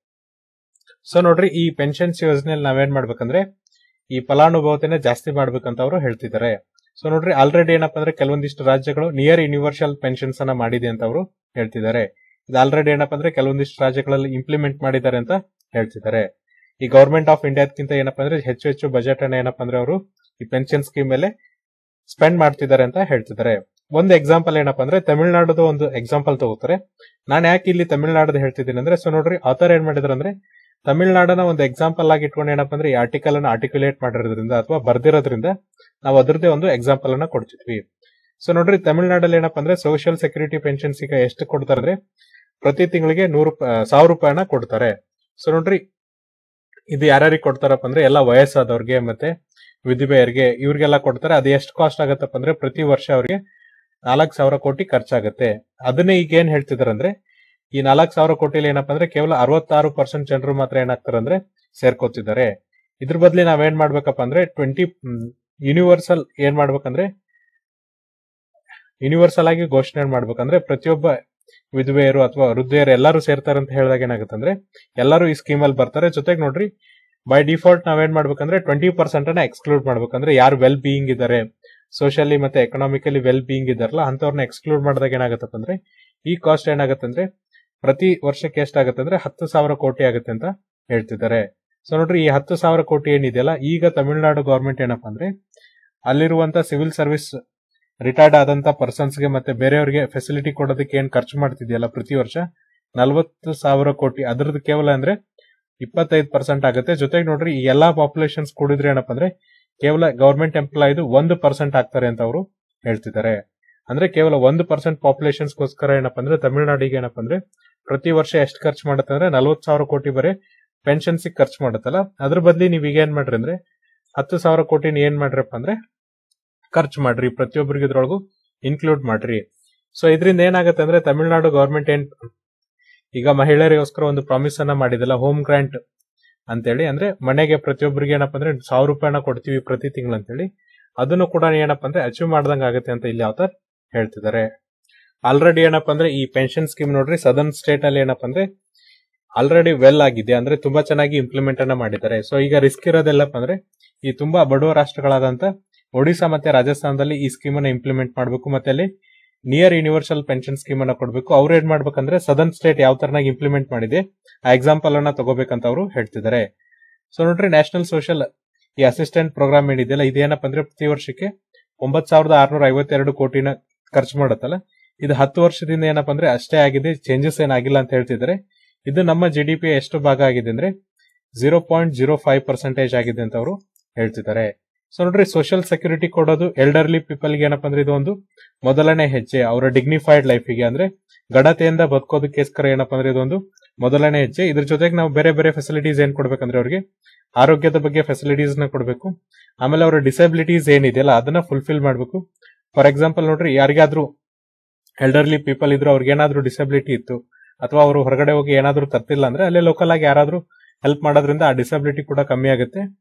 ಆಮೇಲೆ ಏನಪ್ಪಾ ಅಂದ್ರೆ ಅವ್ರಿಗೆ ಡೇ ಟು ಡೇ ಅಲ್ಲಿ ಕೂಡ ಅಸಿಸ್ಟೆನ್ಸ್ ಅನ್ನ ಮಾಡಬೇಕು ರೀಕ್ರಿಯೇಷನ್ಸ್ ಅಂದ್ರೆ ಯೋಗ ಆಕ್ಟಿವಿಟೀಸ್ ಅಥವಾ ಬೇರೆ ಬೇರೆ ಸ್ಮಾಲ್ ಸ್ಮಾಲ್ ಎಕ್ಸಸೈಸ್ ಅನ್ನ ಮಾಡಿಸೋದ್ರಿಂದ ಏನಾಗುತ್ತಪ್ಪ ಅಂದ್ರೆ ರೀಕ್ರಿಯೇಷನ್ ಆಕ್ಟಿವಿಟೀಸ್ ಆಗುತ್ತೆ, ಅವ್ರ ಹೆಲ್ತ್ ಕೂಡ ಏನಾಗುತ್ತೆ ಅಂದ್ರೆ ಚೆನ್ನಾಗುತ್ತೆ ಅದಾದ್ಮೇಲೆ ನೋಡ್ರಿ ಇನ್ನೇನ್ ಆಪರ್ಚುನಿಟೀಸ್ ಕೊಡ್ಬೇಕಪ್ಪ ಅಂದ್ರೆ ಬೇರೆ ಬೇರೆ ಅವಕಾಶಗಳನ್ನ ಕೊಡಬೇಕು. ಜೊತೆಗೆ ನೋಡ್ರಿ ಅವ್ರನ್ನ ಸೋಷಿಯಲ್ ಲೈಫ್ ಅಲ್ಲಿ ಇನ್ಕ್ಲೂಡ್ ಅನ್ನ ಮಾಡಬೇಕು. ಅವಾಗ ಮಾತ್ರ ಏನಪ್ಪ ಅಂದ್ರೆ ಎಲ್ಲಾ ಎಲ್ಡರ್ಲಿ ಪೀಪಲ್ಗೆ ಏನ್ ಅನ್ಸುತ್ತೆ ಅಂದ್ರೆ ನಾವು ವಯಸ್ಸಾಗಿದ್ರು ಕೂಡ ಏನಪ್ಪ ಅಂದ್ರೆ ಪ್ರತಿಯೊಬ್ಬರು ನಮ್ಮನ್ನ ಏನ್ ಮಾಡ್ತಿದ್ರು ಅಂದ್ರೆ ಈ ವಯಸ್ಸಾದಂಗೆ ಟ್ರೀಟ್ ಮಾಡ್ತಾ ಇಲ್ಲ, ನಮಗೆ ಒಳ್ಳೆ ಸಾಮಾಜಿಕ ಜೀವನವನ್ನ ಏರ್ಪಡಿಸ್ತಿದ್ದಾರೆ ಅಂತ ಅವರು ಹೇಳ್ತಿದ್ದಾರೆ. ಸೊ ನೋಡ್ರಿ, ಒಟ್ಟು ಫ್ಯೂಚರ್ ಅನ್ನ ಫ್ಯೂಚರ್ ಓಲ್ಡ್ ಟೈಮ್ಸ್ ಅಥವಾ ಈ ವಯಸ್ಸಾದವ್ರಿಗೆ ಏನಪ್ಪಾ ಅಂದ್ರೆ ಒಳ್ಳೆ ಸಮಾಜದಲ್ಲಿ ಗಣತೆಯ ಜೀವನ ಕೊಡ್ಬೇಕಂದ್ರೆ ಕೇವಲ ಸೋಷಿಯಲ್ ಸೆಕ್ಯೂರಿಟಿ ಜೊತೆಗೆ ಅಥವಾ ಪೆನ್ಷನ್ ಜೊತೆಗೆ ಏನಪ್ಪ ಅಂದ್ರೆ ಓವರ್ ಆಲ್ ಇನ್ಕ್ಲೂಡ್ ಅನ್ನ ಮಾಡ್ಬೇಕು ಅಥವಾ ಅವ್ರಿಗೆ ಡೆವಲಪ್ಮೆಂಟ್ ಮಾಡ್ಕೊಳಕ್ಕೆ ಅವಕಾಶವನ್ನ ಮಾಡ್ಕೊಡ್ಬೇಕಂತ ಹೇಳ್ತಾರೆ ಇಲ್ಲಿ ಹೇಳ್ತಿದ್ದಾರೆ. ಸೊ ನೋಡ್ರಿ, ಇದು ಏನಪ್ಪ ಅಂದ್ರೆ ಇವತ್ತಿನ ಹಿಂದೂ ಅನಾಲಿಸಿಸ್ ನಾಳೆ ಮತ್ತೊಂದಿಷ್ಟು ಆರ್ಟಿಕಲ್ಸ್ ಮತ್ತೆ ಎಡಿಟೋರಿಯಲ್ ಅನಾಲಿಸ್ ಮಾಡೋಣ. ಅಲ್ಲಿವರೆಗೂ ನೋಡ್ತಾ ಇರಿ classic education YouTube channel thank you